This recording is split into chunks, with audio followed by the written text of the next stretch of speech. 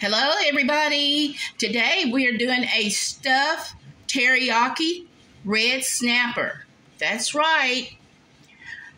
Go ahead and subscribe, like, share, and give me a thumbs up and put on your notification bell. Here we have is our butter, pepper, garlic, rice, and we have our parsley too as well along with our garlic and peppers. And we also have our broccoli steamed with butter and my homemade seasoning. And we also have our green onion bread too as well. It is homemade.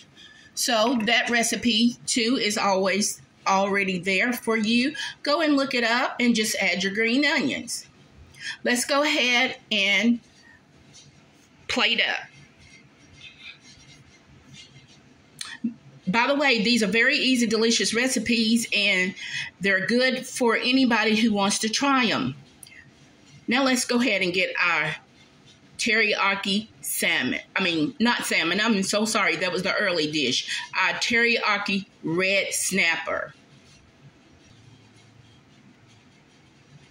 Okay, everybody.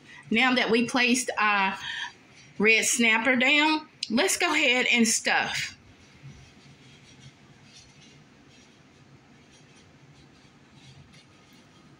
Okay, everybody, this is our stuffed teriyaki red snapper,